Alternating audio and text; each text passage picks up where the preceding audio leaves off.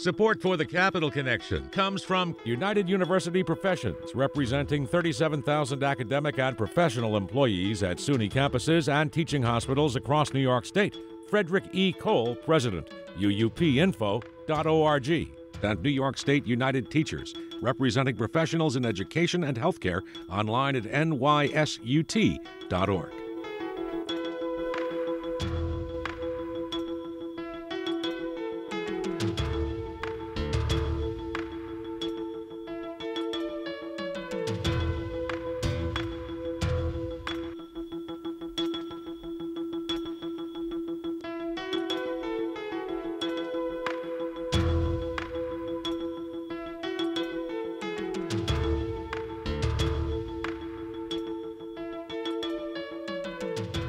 It's the Capitol Connection. Hi, I'm Alan Chartock. Joining me this week is Jay Jacobs, chair of the New York State Democratic Committee. Welcome, Jay. Well, thanks for having me, Alan. Governor Kathy Hochul is now the first elected woman governor of New York. You were an early endorser of Kathy Hochul.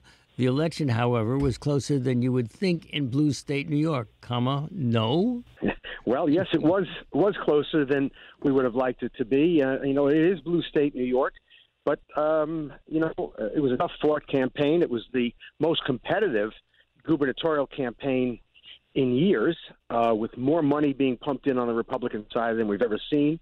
A lot of independent expenditure group spending, particularly the Ron Lauder money. So we had a lot of work to do. Yeah, there was a very interesting article about Ron Lauder, as you say, in the um, Times this weekend. Can money really buy elections? Yes, it can, and I think that's it's not even up for dispute because we know that voters respond to those negative ads, the TV ads, social media, digital uh, uh, ads, and uh, and they respond to mail in their mailboxes, and so all of these things together do make an impact.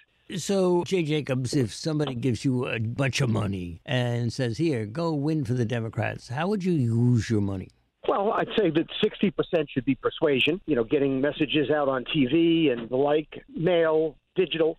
And then near 40% should be field, uh, uh, canvas operations, getting out in the field, making sure that you're knocking on doors, phoning uh, likely voters, and making sure you get your vote out. Interesting. And you think it works? I think it does. I, I think it does. Um, you know, sometimes you have to, you know, when you when you're confronted with uh, an attack like we had with uh, Ron Lauder's um, money in the IEs, we had to put much more money on TV and persuasion than we would have liked. Uh, that did force a change in strategy, I think. But you know, we we certainly had a very robust ground game, and um, you know, I, I think that, that that at the end of the day, with the help of the unions in particular, that's who I want to really thank. The unions, I think, were did a fabulous job getting out in the street and coordinating with the state party with our coordinated campaign.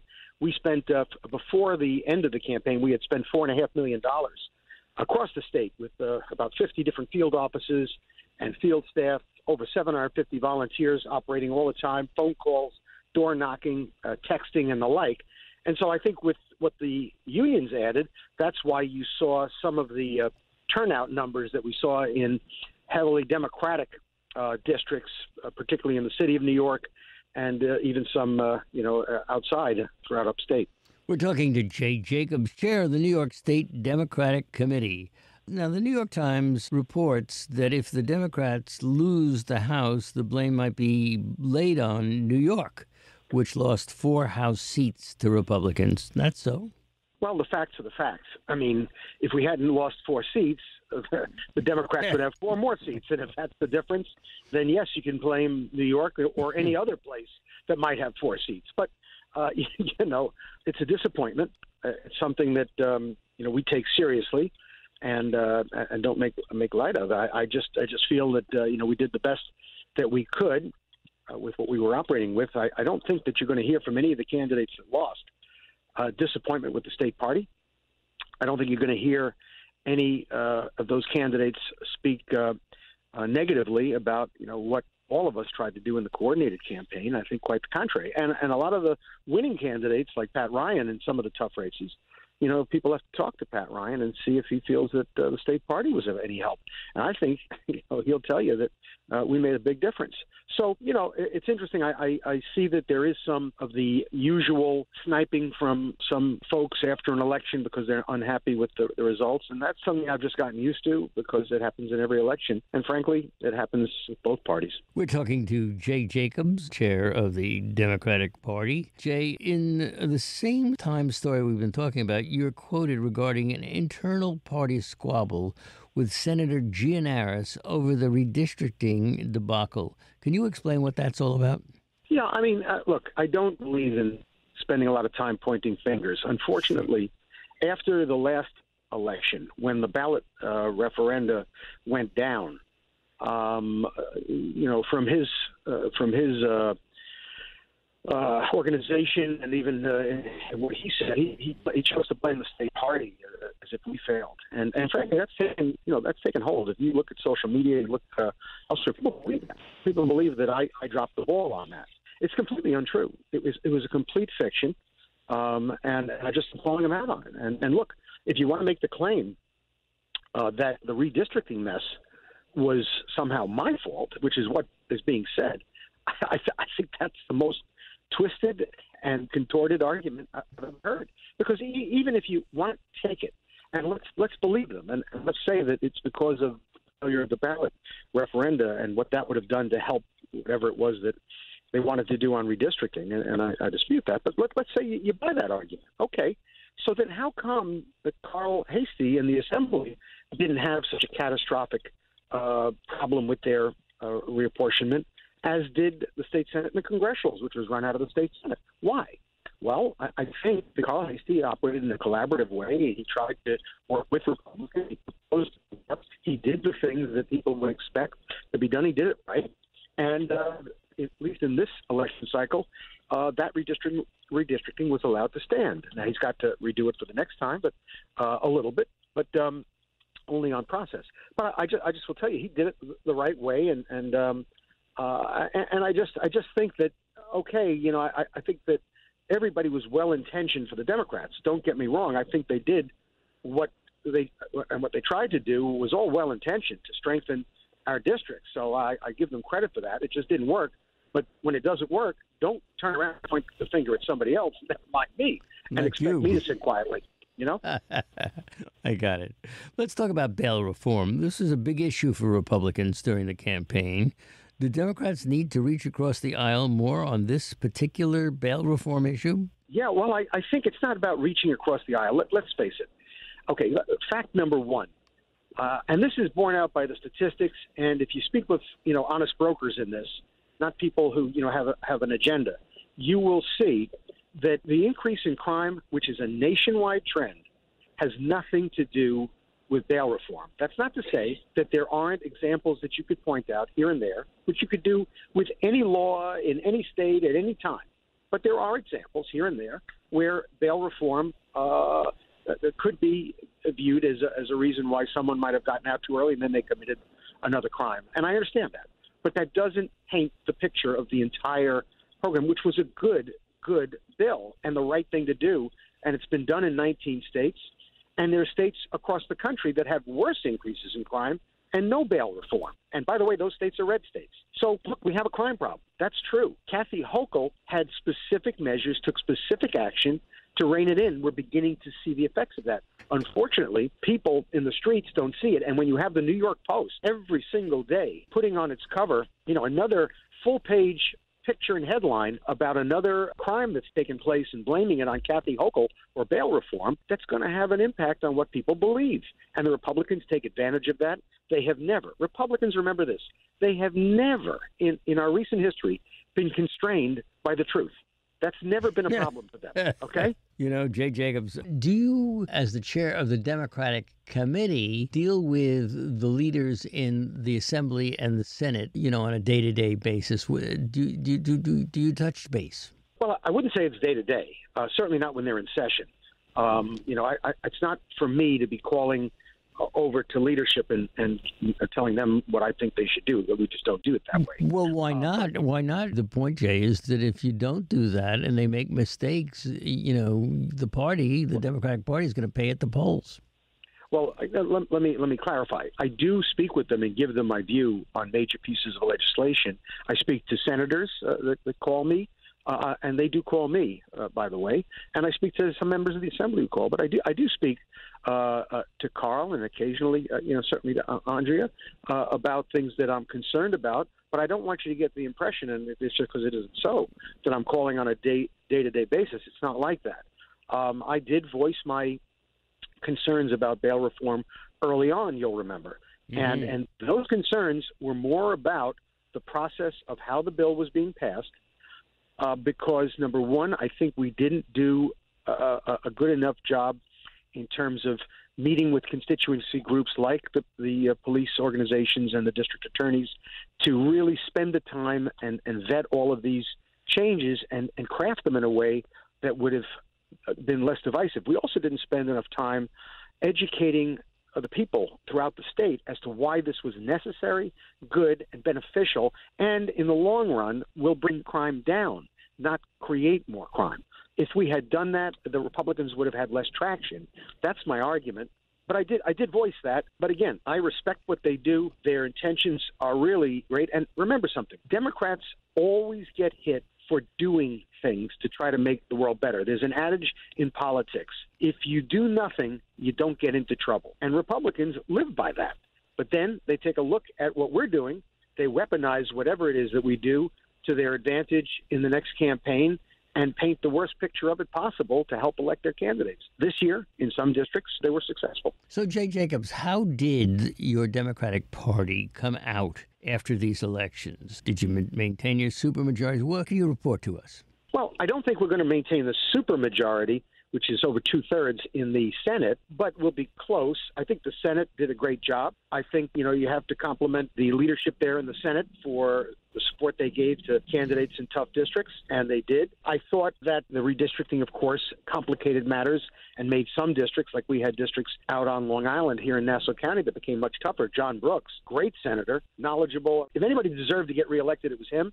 Unfortunately, because of redistricting, he was put in a district really hard to win, and he lost 60 40. But in the assembly, I think we only lost a couple of seats. Carl Heastie ran a great operation, and the DAC, Democratic Assembly Campaign Committee, really supported its candidates. And I have to tell you, if there's a hero in this entire election across the state, it's Carl Heastie. Carl Heastie, from the beginning. Now let's just was, uh, let's just tell the people that that's the speaker. because I'm sorry, that's right. That's all right. Some people might not know. He, yeah, he and I were on the phone. If I'm telling you six to eight times a day, every day. Really? He he was energizing unions. He himself was standing in his own district encouraging people at poll sites during early voting to vote. He was giving us advice on messaging that he thought was critical. This is a guy who spent every single day during the election active and communicating with the state party, with me personally, and the governor's campaign to try to ensure that we had a victory. So there's credit to guy, and I haven't seen it in any newspaper. And this is why, or any article, you know, so much of what you read is a distortion of what actually and truly happened. Carl Heastie's a hero here. I want to go back to you on that because I certainly agree with you that the newspapers aren't doing everything that they could be doing in terms of reporting the internal workings of the legislature, of the political parties. It's tough to criticize those folks because, you know, they don't like it when you do it. Yeah, you know, neither do I, but I guess that's tough if you're in this business, you know? If you're going to be. I agree. It's a tough business and you got to take it. Look, I woke up this morning to somebody who who sent through one of my accounts uh, almost a direct email to me telling me that I was a disgrace and, and you know I should move mm. to Florida and be with the other Republicans. I read numbers of these things. Of course, where does this person get that from? Gets that from you know the nonsense that's on social media and other places. You know, we have a, a, a prominent member of Congress um, who who came out immediately asking for my resignation, who absolutely has no idea of what it is the state party did, what I did, what I put in personally Uh, financially, personally to these campaigns and what I raised and what we spent and where we spent it. And yet they make their judgments that we fell short. Well, I didn't see her anywhere on the campaign trail till the last day. And, you know, look, she's sitting with millions in her bank account. Where was the help? So, you know, people are really quick to criticize others, and I wouldn't do it other than hitting back. My view is, you know, rather than, than do this stuff and with half-baked information, if, and sometimes no information at all. Let's figure out how, how we do it better. What what the real problems were that created difficulty and challenges for our party. We're talking to Jay Jacobs, chair of the New York State Democratic Committee. Okay, so Jay, what about the Supreme Court's recent decisions on abortion? Do you think that had an impact on races in New York? Yes, I do. I don't think it had as big an impact as it did in other states. You know, people need to remember one of the reasons that we won in some of these other states, they're always comparing, you know, how come New York did so badly compared to other states? Well, California had a rough go as well. One of the commonalities between California and New York is, is we're two states that are completely controlled legislatively and in the executive by the Democrats, and we're two of the most progressive states. So let's take that as a common thread. But then you take a look at the issue of abortion. So many people here in New York said, "Yeah, we we're very upset about abortion, and we don't like Zeldin's view on abortion. But you know, it's a it's a democratic state; it's never going to change, and it's not under threat here." So the impact of Roe, of Roe v. Wade being uh, the Dobbs decision being overturned, uh, it was not as strong as it was across the country in some of the other states where you actually could lose your rights, uh, your reproductive rights.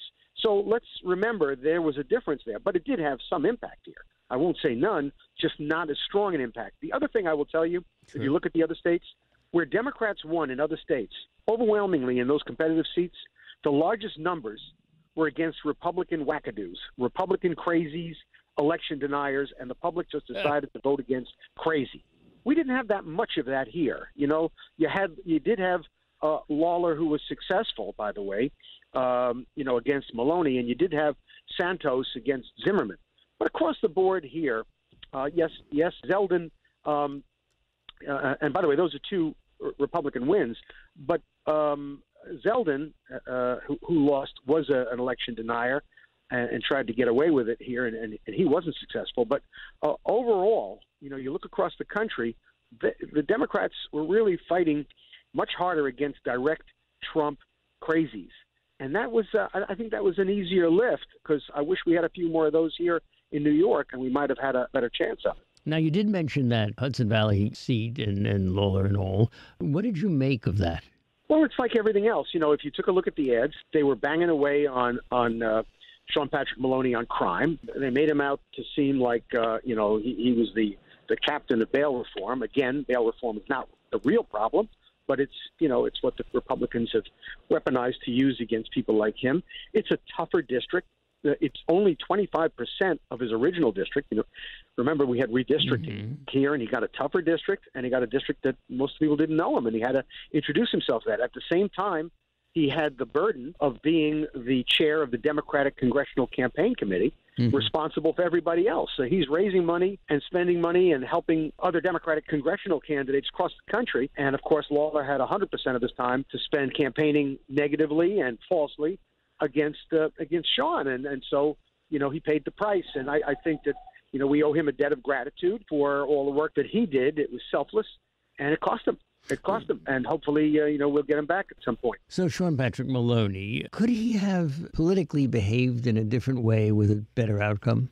I don't know about that. You know, remember something. What we inside look at, see, and judge is really very different outside our bubble, because outside our bubble, you've got average uh, citizens, average voters, who very simply, uh, you know, want to know what we're doing to improve their lives. What are we doing about education? How are we making sure costs aren't skyrocketing? We had a situation here nationwide where we're confronted with 8% inflation. You know, gas prices, of course, peaked and then have come down, but that aggravated voters. You take that, you throw in the crime component, and it's, it's really very hard for every uh, incumbent.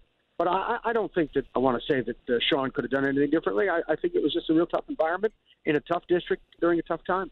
How much does personality control what happens in an election? In other words, if Sean Patrick Maloney was a different guy with a different attitude, if he wasn't wasn't as confrontational, that kind of thing, would the outcome have been different? Well, you know, I don't know. Personalism, people have to like the people they vote for. That's always, you know, there's the old saying, who, who would you want to go out and have a, have a beer with, right? Right. We always we always hear that. Um, I, I remember uh, uh, then Senator Obama in the debate against uh, Hillary saying, well, she's likable enough, you know, uh, and, and those kinds of things. And by the way, Hillary's very likable. But uh, I, I would say to you that uh, I think it's a factor. I don't think it's the factor. Bottom line is what voters want is they want somebody who's going to be looking out for their interests.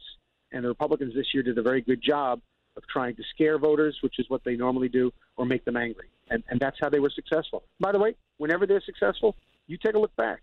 That's how they do it. They either scare voters or they make them angry. Do you give workshops? I mean, to the people who are running for political office as Democrats, do you say, now here's what to do and here's what not to do? Not enough. I, I would say we do, and, and we have that, and we do have candidate training. We do train on the VAN, which we manage, the voter file. That's one of the, the key jobs. People don't have a they have a misunderstanding of what the state party actually is. We're a housekeeping, organizing, coordinating entity. Mm-hmm. We're not the lead campaign entity for any of these campaigns. The Democratic congressional campaign runs uh, the congressionals.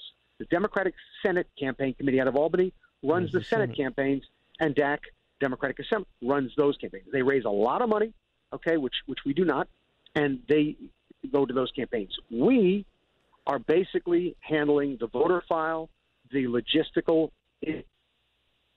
back infrastructure of making sure that the party apparatus has the means to get things done. So this year we handled the coordinated campaign. Uh, we spent before the end of the campaign, we spent over four and a half million dollars on field operations across the state and uh, door knocking, as I've mentioned, and phone calls, texts, and the rest. Uh, we help the uh, various campaigns get their jobs done, congressionals and the, the, the state senate campaigns uh, that that ask for our help. We we did get money and raise money for some campaigns that specifically asked for our help. But we're not flush with cash the way these campaign entities are, and it's not, you know, we don't direct their campaigns the way those entities do. I can call a campaign, even the governor's campaign, I can call them and give them my advice as to what I think they should be doing or what messaging I think they should be uh, focused on, but that doesn't mean they have to follow it, and sometimes they do, and sometimes they don't. But that's why at the end of the campaign, you know, I think the best and most useful part of the state party for some people is it, it does give them somebody good to blame. But but I'll tell you the truth of it is that um, you know while we can always find uh, things we can do better and do more, I, I, nobody's perfect. I, th- I think overall, uh, you know, the state party and all of the people associated with it, all of the, the staff of the state party, the county chairs, 62 Democratic county chairs across the state, we all came together very well, coordinated very well with the congressional campaigns and, and uh, governor's campaign, of course, top of the ticket to make sure we were getting out vote. And, and uh, that's what we have to do. It was a tough year here in New York. We're talking to Jay Jacobs, chair of the New York State Democratic Committee. Uh, now, I want to ask you about Andrew Cuomo. I had a call from his people saying he'd like to come on the air, and that's a little bit unusual for him. Is he looking to make a return to power? Well, I mean, I you know I haven't spoken to him in, in a very very long time, uh, but it wouldn't surprise me. Uh, but you know, uh, look, I think this is a time, and then and certainly uh, you know he should come on uh, if he wants to do that. Um, I think all of us right now have to focus our attention on making sure that the Democratic brand in the state of New York aligns with the voters of the state of New York. Uh, we have a, a very diverse Democratic Party with views across the spectrum that need to be respected. The progressive wing, the uh, you know, uh, that needs to be respected and listened to, as does the more uh, moderate wing of our along party. Those, along those yeah. lines, are you getting along with the Working Families Party? Yes, I, I get along with them. I, I, I speak to Sochie from time to time. You know, I think they, they were very helpful, and I, appreciate the help that they, they put in. Uh, you know, uh, and, and I, I look forward to sitting down with her.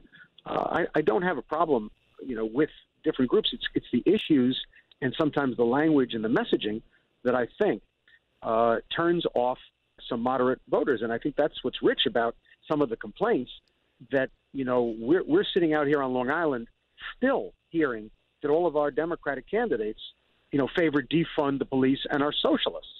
And that's none of them have said it, yet that kind of messaging out of much more uh, progressive districts and progressive um, representatives yeah. uh, still still attaches to us and hurts us. That's why you have lots of people in the middle, unaffiliated, voting against the Democrats because they've been sold by Republicans on the fact we favor defund the police when we are in fact funding the police more than the Republicans. And uh, they they believe that we're socialists. That's why. Why do you think? You know, I get this so often. The Asian community, uh, you know, why are why are they going to the Republicans?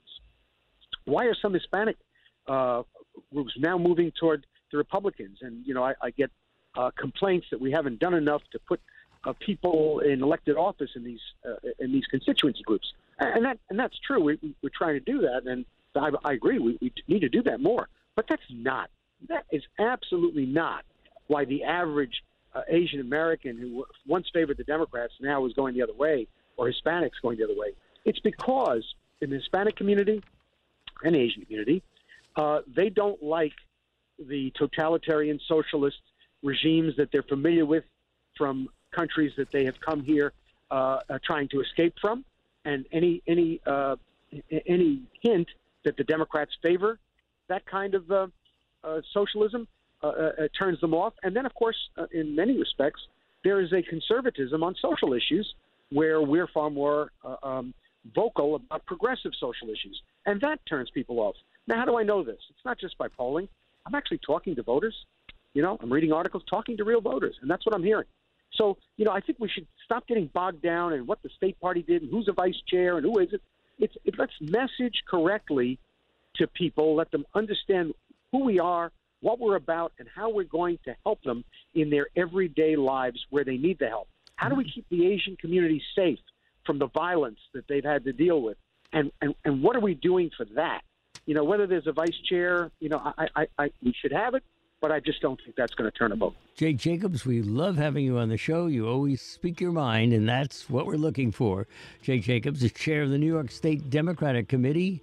You can find out more at New York Dems, that's one word, N-Y-D-E-M-S dot org. Jay, again, we'll see you soon, and thanks so much for being with us.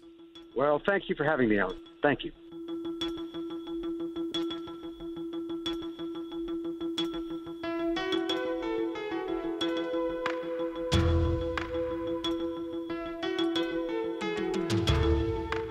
Capitol Connection is a production of WAMC Northeast Public Radio. For copies, call 1 800 323 9262 or visit us online anytime at WAMC.org or just schedule a podcast anywhere you get your podcast. And join us again next week at this same time for another political conversation. Thanks for listening.